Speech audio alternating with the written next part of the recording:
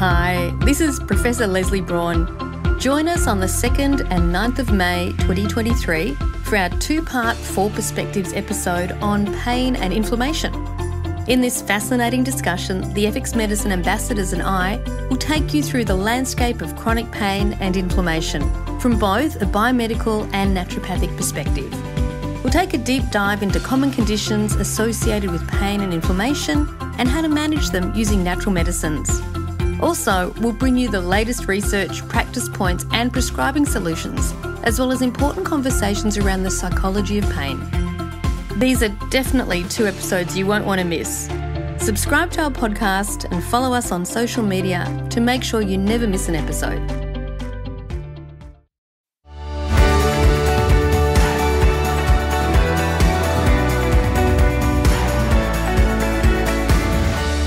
Hi, welcome to FX Medicine, where we bring you the latest in evidence based integrative, functional, and complementary medicine.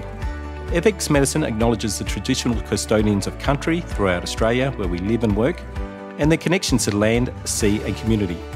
We pay our respect to their elders, past and present, and extend that respect to all Aboriginal and Torres Strait Islander people today. With us today is Professor Peter Drummond, who is a professor in psychology at Murdoch University in Western Australia. Peter is a prolific researcher with a specific interest in the biopsychosocial mechanisms associated with chronic pain, headaches, and migraines, and the psychophysiology of emotions and their impact on health. He teaches health psychology and behavioural medicine in the clinical psychology program at Murdoch University and has supervised many PhD students throughout his career. In fact, Peter was my PhD supervisor when I completed it several years ago, and he continues to be involved in many of the research projects I conduct, where he offers valuable advice and support. Okay, welcome to FX Medicine, Peter. Thanks for being with us today. Thank you for having me. Now, I know that you have a specific expertise in chronic pain and headaches and migraines, so these are the areas I wanted to talk with you about today, in particular the area of psychology of pain. So, you know, from my years of experience working as a clinical psychologist, I know that pain, and in particular chronic pain, its causes and its treatments are often complex, and there are many factors that can affect pain.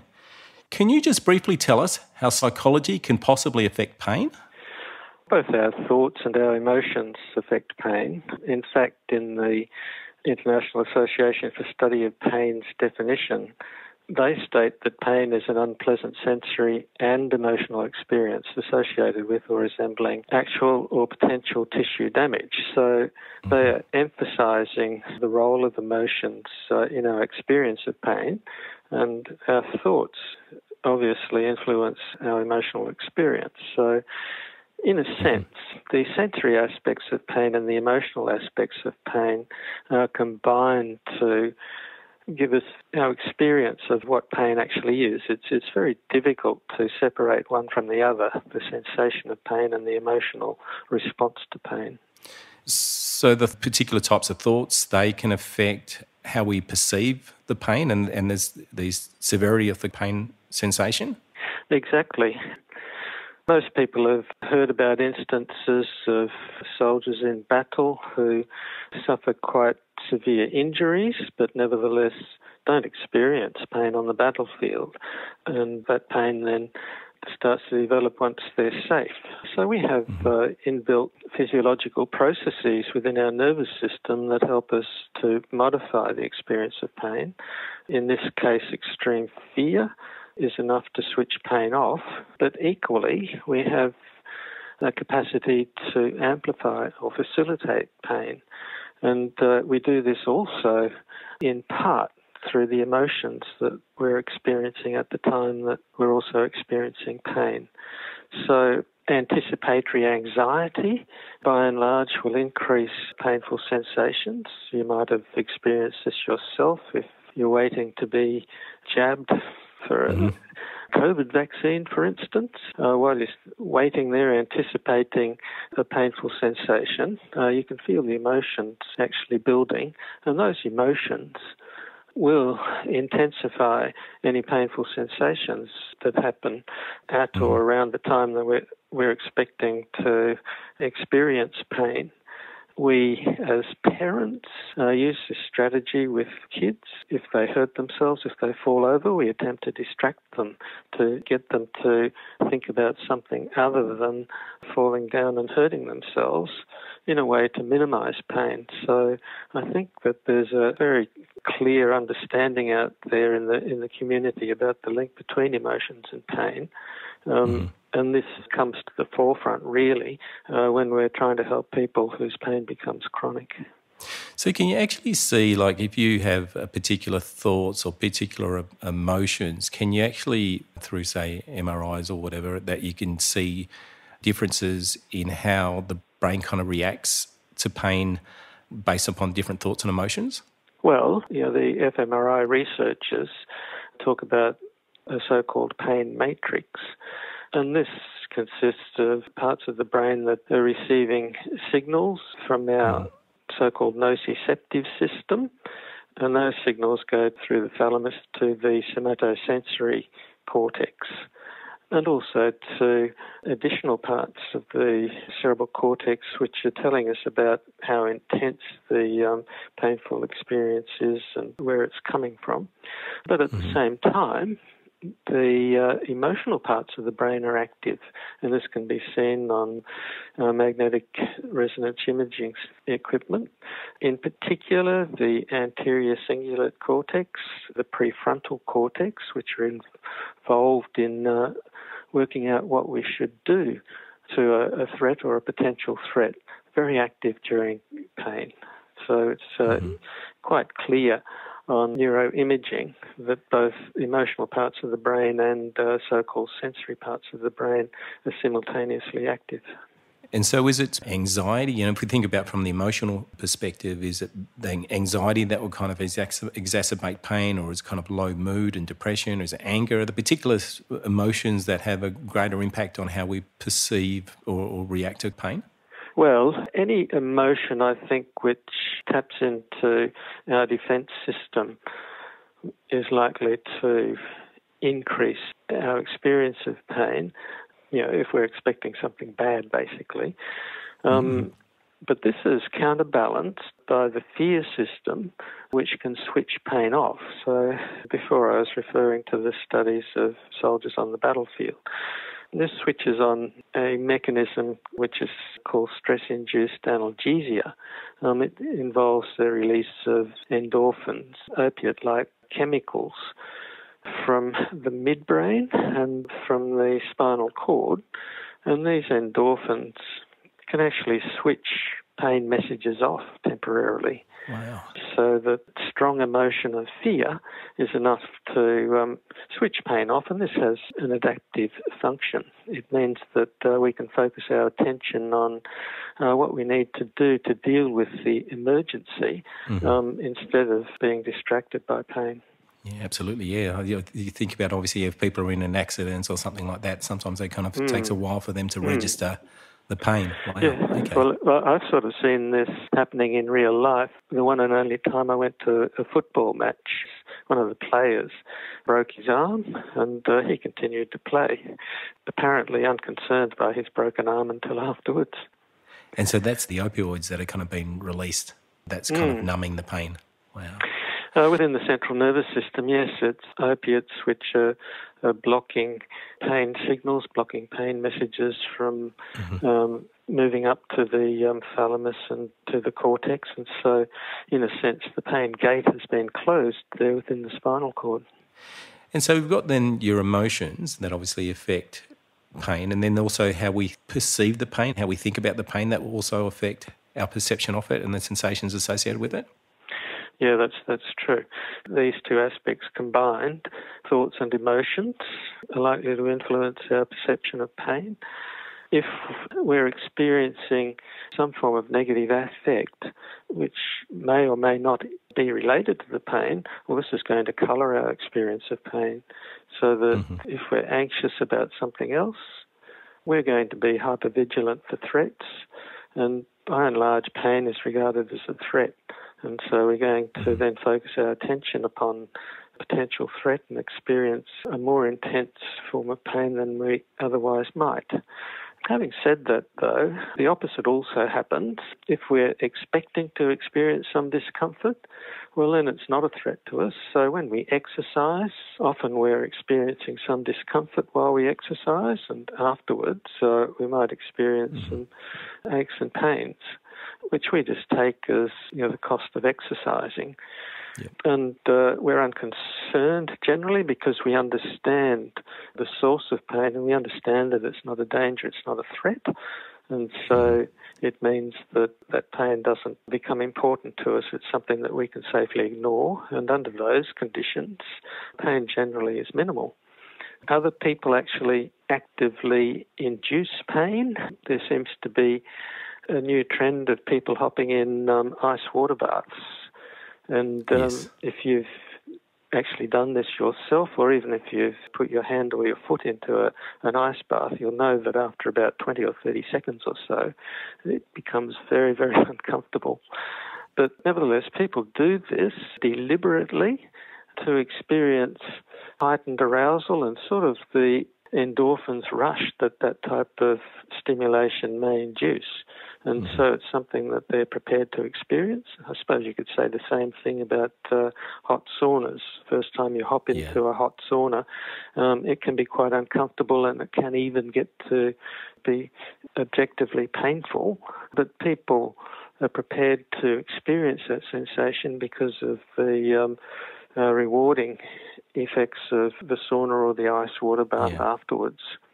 And under those conditions, pain is not regarded as a threat. In fact, it's expected and it's under our personal control, and so is reasonably minimal.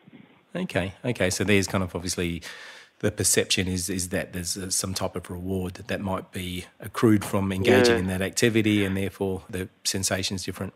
Yeah, so it might be a physiological reward.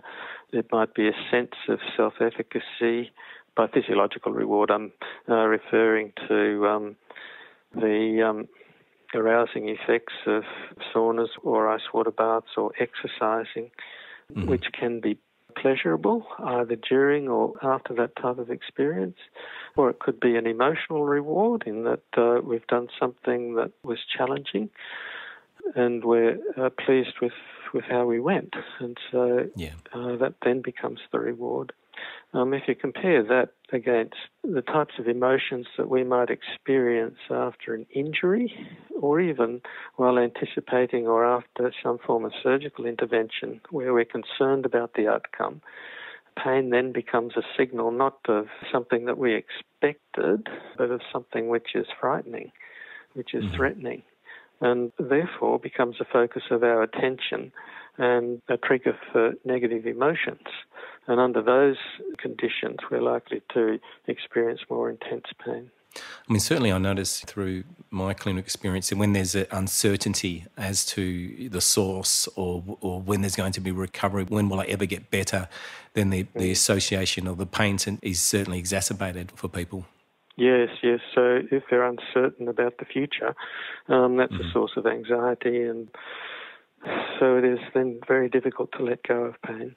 So, what about people with chronic pain? Are there particular thoughts that people with chronic pain that the research shows can have a negative effect on their, their pain and their recovery?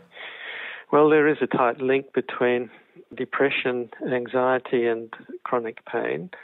The majority of people with chronic pain have some sort of negative affect, be it depression, anxiety, anger, or a mixture of, of those.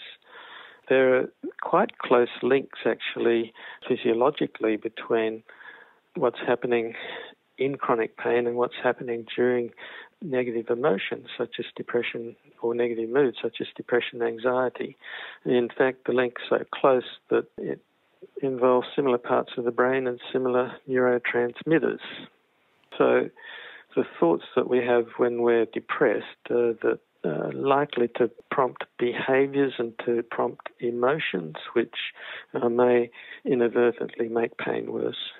And that'd be things like for people who are depressed, the, the issue of catastrophizing, and I've also seen research about pain catastrophizing that can also impact on depressed mood and also the pain sensation.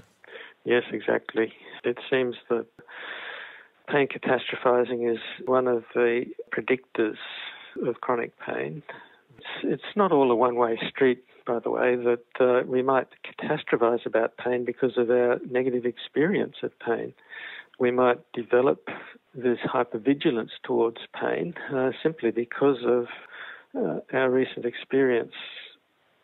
And there is literature to show that if pain resolves, either through natural means or through treatments which work, negative emotions also resolve. Mm-hmm. But uh, before this happens, there is this two way link between emotions and pain that experiencing strong emotions can make pain worse, and experiencing strong pain can make negative emotions worse.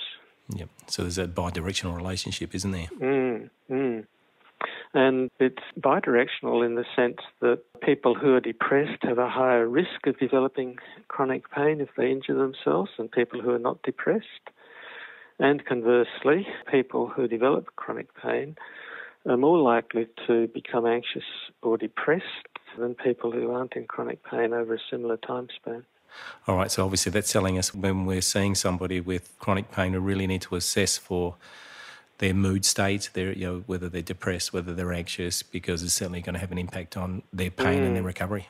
Yeah, so from treatment providers' perspective, uh, these are targets that can be used to help people not only manage their life more effectively in terms of perhaps brightening their mood, but also, secondarily, uh, might change their experience of chronic pain. It can be a means to um, manage pain more effectively.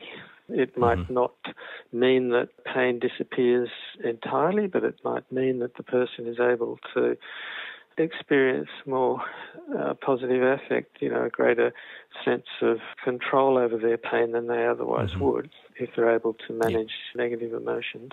Yeah, and then generally function better in life, obviously. So, mm, mm, yeah, so their well-being is improved. Now you've done, I know you've done a lot of work on, you know, in headaches and migraines. So obviously, what you're mentioning here is that our emotions and our thoughts are going to affect you know the pain associated with the migraine or with the headache does though our thoughts and our emotions also increase the likelihood of actually having a migraine of, of developing a migraine uh, getting a headache place? yeah. Yeah. Um, yeah it's psychological stress is regarded by migraine sufferers as uh, the most common trigger for their headaches. Mm-hmm. Um, the headache doesn't necessarily start during the stressful period, but seems to be associated either with the experience of stress or develops shortly after the stress resolves.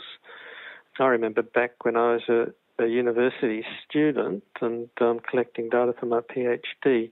Um, this involved interviewing lots and lots of people with different forms of headache.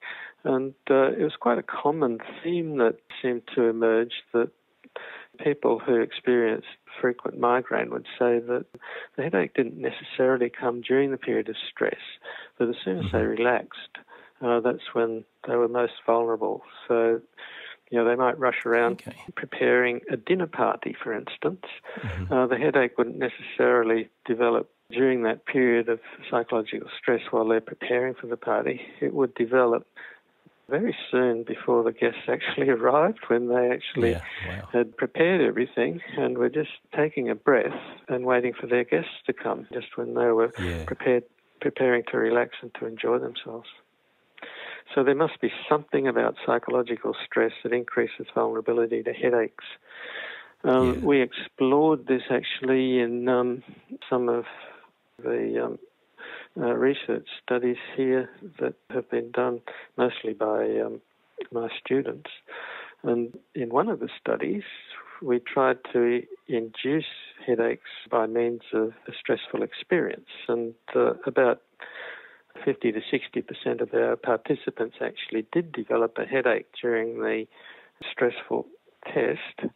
Mm-hmm. Interestingly, though, um, people in our control group who'd been selected because they didn't experience headaches, migraine headaches very often, if at all, developed headaches during this form of psychological stress as frequently as people who had migraine headache. Wow. Um, what seemed to predict whether they developed a headache or not was the um, sense of self efficacy that they had about solving the um, stressful task. So those people who tried mm. hardest um, actually experienced the strongest emotions while they were trying to uh, manage the task. Um, and also experienced the greatest decrease in self efficacy during the task when they realized that the task was simply insoluble. And we were able to actually track the um, development of the headache against the um, development of negative affect during this task because every five minutes we stopped and asked people to provide mm-hmm. ratings of their mood. And it was very informative in that uh, negative affect developed five or ten minutes before the onset of the headache in most people. So you could see this clear link between a stressful experience, the thoughts that people had about uh, managing that stressful experience, trying but failing, experiencing negative affect, and then developing a headache. So, yeah. yeah, that's that's one model that we have of this link between psychological stress and headache. Mm-hmm. In some of my earlier work, um, I was interested in what might be happening to the vascular system uh, when headaches began or during the headache itself. And according to this theory, swelling of scalp blood vessels in particular, or intracranial vessels, vessels which supply the brain itself, was potentially a source of pain in migraine headache. And so we were interested in the effects of psychological stress on the response of these blood vessels, whether these blood vessels dilated during psychological stress. And indeed, we found that they did. This didn't necessarily translate immediately into a headache, though, so there must be mm-hmm. um, additional steps there that link this vascular response to the um, development and the experience of a headache. And we think that something goes wrong within the brainstem pain control mm-hmm. processing centers to take the brakes off, basically, yeah. um, the flow of pain signals into the brain. So it's a, a type of a disinhibition process that we normally screen out intense sensations or, or sensations which uh, potentially are unpleasant, unpleasant from our conscious awareness, but during migraine headache, this process fails, and so that as well as experiencing pain from dilated blood vessels, we also experience discomfort from bright light, mm-hmm. And we also experience discomfort or uh, distorted noise discomfort from loud noise. So people with migraine headache often prefer to wait it out in a quiet, dark room until the headache is gone. Wow. So so really then, I mean, obviously, you know, if anybody's seeing someone who's coming with chronic pain, with headaches, migraines, they really need to be asking about their mood. They really need to be asking about their thoughts. And you mentioned self efficacy, you know, the confidence in being able to kind of manage a situation. That seems to play a, a big part in pain too, doesn't it? Yeah, and the coping strategies that people use to try to mm. manage psychological stress seem to be important. Um, we need to match an appropriate coping strategy to the um, form of stress that we're facing. Mm-hmm. So, you know, if the stress can be regarded as a challenge and we're able to actually meet that challenge, then we're not likely to experience strong negative affect. It's only when uh, we try hard and fail uh, where this negative affect builds, where the um, mm-hmm. sense of self efficacy decreases, which seems to make us vulnerable to headache because somehow that impacts upon the way that we process sensory information. All right. Now, the other question I wanted to ask you about was the relationship between sleep and pain. What's the relationship there? Uh, well, again, it's a reciprocal relationship. So, if we suffer from insomnia, we're likely then to be more vulnerable to developing chronic pain. And obviously, mm-hmm. the opposite uh, is important too. If we're experiencing pain, it's harder to to sleep. To you know, pain can wake us up if we move during sleep. Uh, the discomfort that we experience often is enough to wake us up.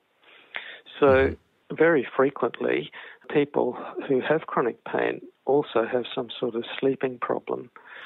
Again, you know, we're looking at a complex, multifaceted problem that the uh, person in pain has to manage mm-hmm. somehow. In fact, I think from um, a brief look at the literature that about 50% of people with chronic pain also have a sleeping problem. And in yep. people that come to um, pain management programs, the um, prevalence of sleeping problems is even higher. Yeah. So that in a study that one of my students carried out, the um, prevalence of sleep problems was up around 70 to 80 percent in the um, wow. participants within these pain management programs run through a, a mm-hmm. multidisciplinary pain clinic. Yep. This has been studied experimentally, you know, this link between pain and sleep. If you deprive people of sleep, uh, they'll become more sensitive to painful stimulation. Mm-hmm. If they sleep well, the opposite happens. So wow. there seems to be, you know, this direct association between adequate sleep and our experience and processing of pain. I actually read a uh, review paper recently, and they, were, and they were talking about obviously the relationship between pain and sleep. And one of the conclusions was that you know certainly pain can affect sleep, but it seems as though from what I was inferring from it was that sleep can affect pain more than pain can affect sleep. Does that make sense? yes, um, it might well be so. We found actually in the study that we carried out through the um, pain clinic that people with a sleeping problem who you know, by definition had chronic pain because they were attending a pain clinic, were also likely to be um, depressed and also likely to catastrophize about yeah. pain and about negative affect in general. So you know, they have the full package of negative affect, sleep problems, and chronic pain. So it's hard to tease out the primary problem, whether it is the pain, whether it is the sleeping disturbance, or mm-hmm. whether it is the negative affect. I think they all feed upon each other. So then you've got obviously, I mean, somebody's coming in with chronic pain, you could treat the chronic pain and then potentially the mood and sleep will improve, or alternatively, you could treat the sleep or, or treat the mood problem, and the pain could kind of improve too. So you could mm. start from a few different areas, couldn't you? You could do the the pain management, but you could also do the counselling around the kind of mood and the depression and the anxiety, or you could do some sleep mm. hygiene work, and you could improve the pain in that way too. Exactly. One important thing I think to include in um, a pain treatment program, pain management program, is some education around how these different components of pain interact with each other so that it's very clear to the uh, person seeking help that they're likely to benefit not only in terms of uh, better sleep if that becomes the um, the first form of treatment, but also that this is likely also to have positive benefits in terms of their pain experience, and uh, if they're sleeping better, it's also likely to help to lift their mood.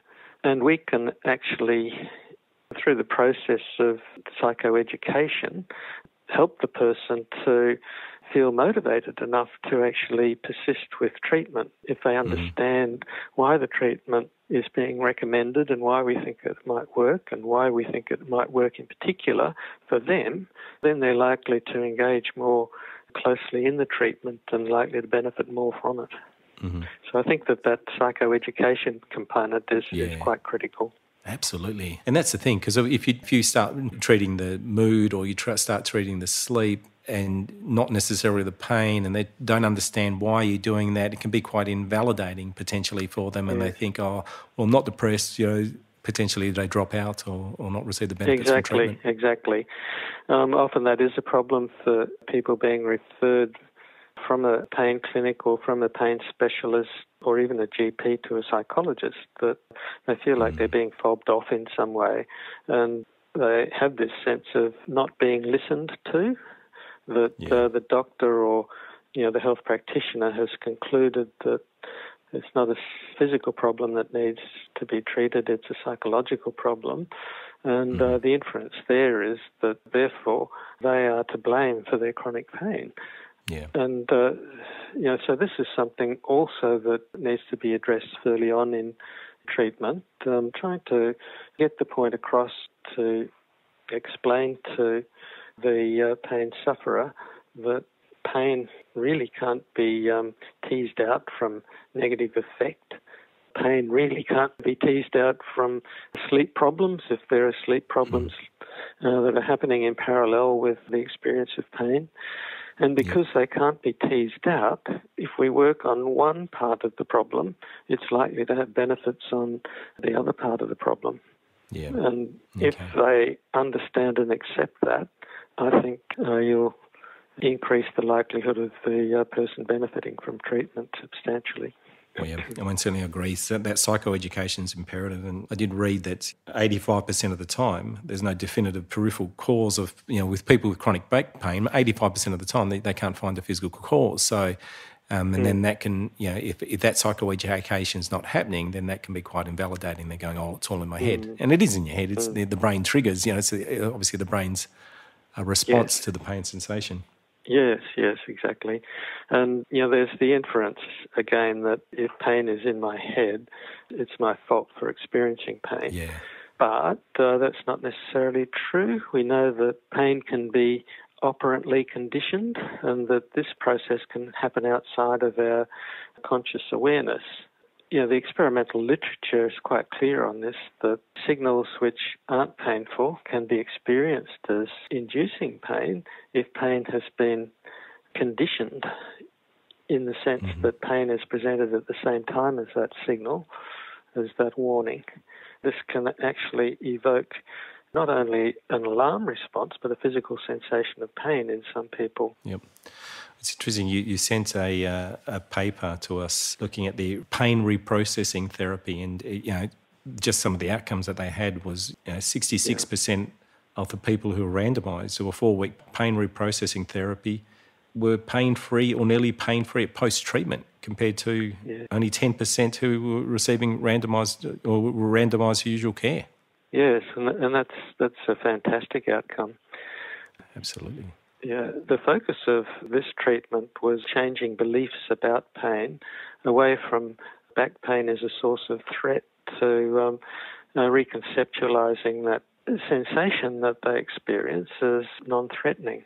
And once people actually took that on board and believed or changed their beliefs around pain, uh, that seemed to be the green light in terms of actually coming to terms with their pain and actually doing things which previously they had avoided because uh, they were frightened that that would make their pain worse. Part of the um, problem in people with chronic pain is this very natural desire to avoid things which might hurt.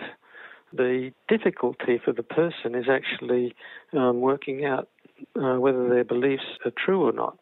And part of psychological treatment is encouraging people to actually go ahead and test their beliefs about what hurts and what doesn't hurt, and about the mm-hmm. meaning they attach to feelings of pain if it does hurt. We talk about good pain and bad pain, you know, the examples that I gave previously about exercising, you know, that's a good form of pain.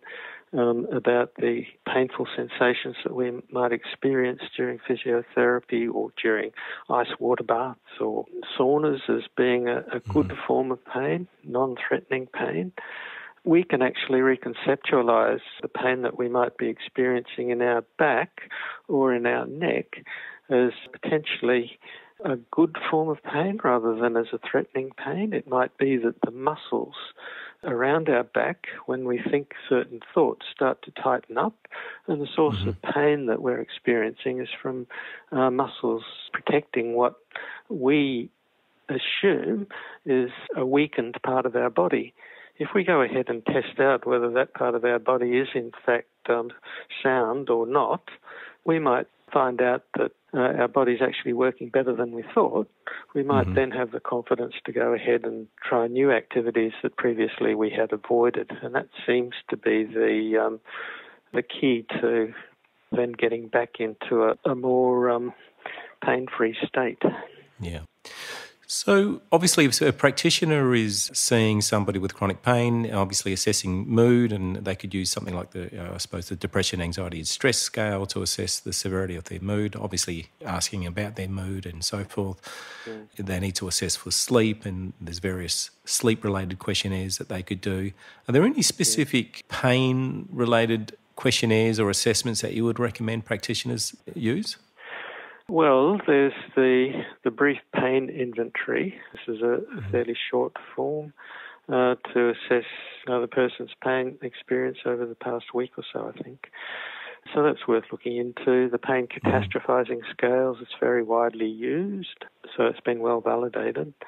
I'd recommend a disability questionnaire such as the Oswestry or the, the Roland Morris scales um, to mm-hmm. work out how pain might be impacting on the person's day to day activities. And another one that I would add to the um, list would be a scale that one of my PhD students developed recently, the pain invalidation scale um, okay. because this actually taps into this sense of feeling not listened to or not being believed, not only by healthcare practitioners but also by immediate others that might inadvertently impact upon the person's self confidence or colour their mood. We included in this pain invalidation scale also a subscale dealing with self invalidation because often people are very critical about themselves for being too weak to um, do things that they believe that they should be able to do. And these negative beliefs can then have flow on effects in terms of negative mood. Mm-hmm. So I think that recognizing that many people in chronic pain will have negative views about themselves and will have experienced negative interactions with others because they're in pain needs to be recognised by healthcare practitioners and needs mm-hmm. to be built into any form of intervention. All right, so we'll definitely add uh, put links to all those all those questionnaires okay. in the show notes. They sound like some great ideas. I mean, I suppose the other one I've seen is the pain self efficacy scale too, which is sometimes oh yes, seen yes, of course. Okay, now obviously you talked about thoughts, we talked about emotions. Just a question about you know relaxation, the potential of kind of relaxation treatments and relaxation therapies to manage chronic pain. Are there you got any comments on relaxation? Well, relaxation obviously is a useful tool for for managing emotions. It's a mm. useful tool for inducing physical relaxation, you know, calmer physiological state in terms of mm-hmm. slowed breathing and decreased heart rate and blood pressure, etc., which can also uh, then flow on to um, feeling a greater sense of control over our body. And I think it's this sense of control which is, is quite useful in terms of managing our sensations and interpreting those sensations as threatening or not. If we have a sense mm-hmm. of control, we're less likely to be frightened about pain or less likely to be anxious about pain. And uh, then this translates into actually experiencing less pain. It becomes self fulfilling. So I think that relaxation strategies such as controlled breathing, progressive mm-hmm. muscle relaxation can be useful. Yep one caveat with muscle relaxation is to um, be careful around the site of injury or site of previous injury um, because the tissues there might be quite sensitive to movement, to muscle movement. So part of the um, pro- progressive muscle relaxation process is to tense and to relax muscles so that we can distinguish between the sensations of a tense versus relaxed muscle group. Mm-hmm. This needs to be done quite carefully around the um, area of injury to make sure that we don't inadvertently increase painful sensations when we're intending to produce a more comfortable state. Have you tried um, any experience with biofeedback? I mean, what's your thoughts about biofeedback as a potential option? It depends what form that feedback takes. So, if we're wanting to decrease physiological arousal, we might target, for instance, some aspect of the cardiovascular system. So we might give feedback around heart rate or heart rate variability. Or it might be that uh, we're wanting the person to target their breathing, in which case we might measure their breathing and give feedback about uh, when they're breathing regularly versus when they're not. And these biofeedback messages can be helpful for people to um, see whether they're on track or not, but whether what they're doing in terms of their behaviors, their thoughts, their emotions is actually translating into what they are aiming to achieve in terms of reduced physiological or psychological arousal. We can target particular muscle groups if those muscle groups are found to be a source of tension or a source of pain and um, help the person to relax those particular muscle groups through providing feedback about how tense or how relaxed those groups are at any instant in time. And so uh, feedback can be used effectively there as well. Wow. All right. So, really, then, I mean, I think you've provided us with lots of great information about obviously the link between thoughts and emotions and pain, whether it be acute or, or chronic. The, the reality is that if we're seeing anybody with chronic pain, we really need to kind of assess their mood and, and treat it accordingly. We need to assess their sleep and treat it accordingly. Certain thoughts that they may have, and we can change some of the thoughts that they have around pain and change, kind of, suppose, their relationship they have with pain. That's going to have dramatic effects. And obviously, a lot of natural practitioners, they're including different herbs, anti inflammatory herbal ingredients, and, and diets, and, and all those components too, and that we as psychologists don't necessarily do so much. But I think collectively, if you put it all together, we can really get some, some really nice outcomes with yes. people with experiencing yes, chronic yes. pain. I, I, think so too. Uh, I think there's a real role for uh, a, a, range of healthcare practitioners to help people with chronic pain because pain is such a, a multifaceted problem. Um, people with different expertise can um, uh, help uh, in their area of expertise, but it's also really important to be aware of um, other areas in which the patient might benefit, and working within a multidisciplinary team is ideal. All right. Well, thank you very much, Peter, for you know taking the time out to uh, to provide us with your you know years of experience. I know, um, I know, you've been around for a while, so you, you taught me when I was uh, doing my masters. So that's uh, so. What are you? Yeah. About thirty-five now, aren't you? Um, well, a little older than thirty-five. I'm not quite double thirty-five, but nearly. All right, but yeah, no, certainly, uh, you know, uh, through the throughout the years, you know, in terms of the, the knowledge that you've given me, um, and uh, obviously, you know, the expertise and the papers that you've published and the research that you've done, in the, particularly in the area of pain, has been amazing. So, so certainly, thank you uh, very much for joining us today. Thanks, Adrian. All right, so thank you everyone for listening today. Don't forget that you can find all the show notes, transcripts, and other resources from today's episode on the FX Medicine website I'm Dr. Adrian Lopresti, and thanks for joining us. We'll see you next time.